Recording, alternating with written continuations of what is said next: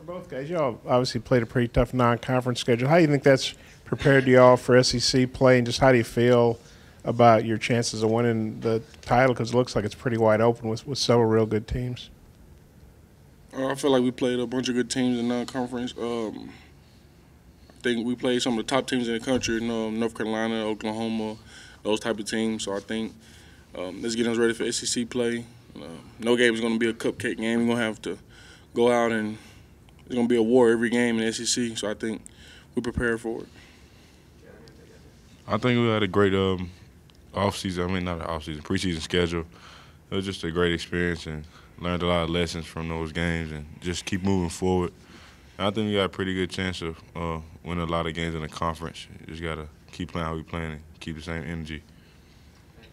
Uh, Jaylen, this is a, as a junior college transfer in general, and you in particular, how much difference does it make your the second year as opposed to your first one, as far as how much better you feel that you are and most play, JUCO transfers are? I think um, it's a better feeling than last year. Just um, getting the experience from last year, the intensity of conference play, and just having a sense of urgency every game, and just got to come out and compete every game, and it just paid out a whole lot. Guys, um, I mean, obviously the team's assist to turnover ratio is really good, but but Daryl's really been taking good care of the ball. He's got almost a three to one ratio. What, what do y'all think about Daryl's uh, passing, and how how's he improved since last year? And has he surprised you at all? No, I don't think he's surprised at all. He do it in practice, so I think just um, making plays for himself and each, and everybody else, and just moving out the ball or just making a simple pass and a simple play. And it's just we, we expect that from him, and I hope he keep doing it. He's doing a good job at it. You want to take that too, Trey? Because you're a good passer. What, what what's your thoughts on Daryl? How he's improved? His, Uh, yeah, when teams try to um, play Daryl the way they play him, um, it opens a lot of other guys up, including me and JB. And um, we see it, like JB said, we see it every day in practice, so it's not it's not nothing new to us. Um, we know he can pass the ball. Y'all know he can score, but we also know he can pass the ball as well.